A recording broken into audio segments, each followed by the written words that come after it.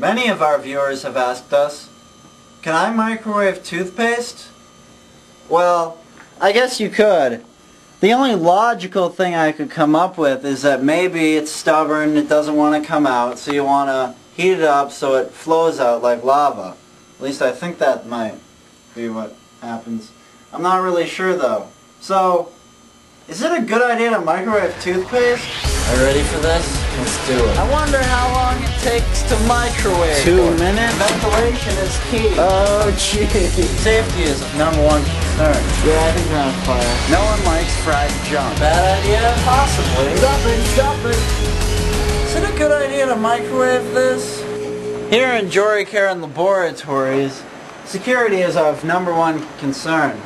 We have a tinfoil shield to protect our nuts. Nobody likes roasted nuts. Ventilation is key. We don't want black shit in our lungs. No black lungs. So, here we have our sharp microwave that has been through hell twice. In goes toothpaste. I wonder how long I should microwave it. 130. 130 sounds like a plan. And here it goes.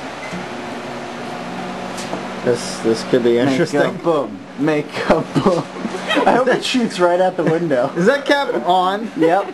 The cap is on and it's secured. Scoot over. We maybe should have cut it open. No. Oh! Oh, snap! Oh, You really should get a fire extinguisher. Biddies!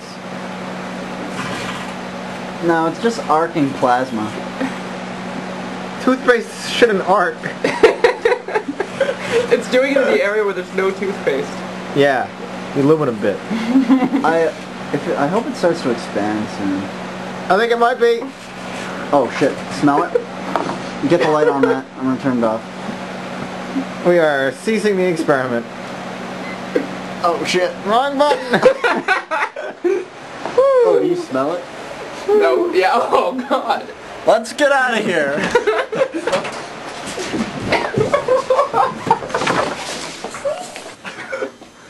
We'll check up on that little experiment a little bit later. It's been about a minute, and we know the fumes haven't dissipated yet. But we really want to microwave that. So let's go do it.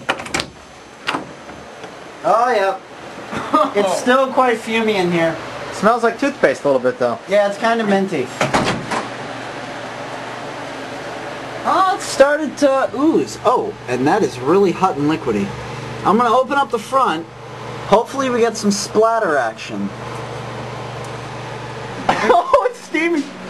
If it can clean teeth. Oh, do you guys smell that?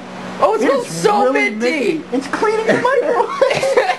it's cleaning it for you, and it's not sparking anymore now that the oh my cap's god, I can taste it now. It's Mm, oh my god, it smells so good. It's making the room smell better. this is not You're good right. at all. It, it is it is vaporizing the toothpaste and then saturating the atmosphere. Oh my god, can you imagine when we open that? Doesn't and it say not to consume toothpaste? All right, It's so still it's difficult to see on camera, but the, the toothpaste is definitely shooting some sort of airborne airborne minty thing. It is really minty in here right Oh, now. whoa, here we go. Do you see how much steam is coming out of the top of that? The tube is getting smaller. It's it's releasing all of the the toothpaste into the air. Oh, As, so we're as a gas. holding a whole bottle of toothpaste. So right toothpaste is Oh shit! Hopefully it's flammable. It So- bursts oh, here we go. it. Here we go. for those wondering, toothpaste can be converted into a gas, and here's how. Oh yeah, And I'm it's starting starting to get really fun. lightheaded. Oh, and it's really foggy in there. it's coming back to the fire alarm. Get the fuck out of here. We've let it air out for a while, and now we can look at it. So what do we have? Uh, it's still really liquidy on the inside. And it kind of melted the top. And it still smells a lot like mint in here.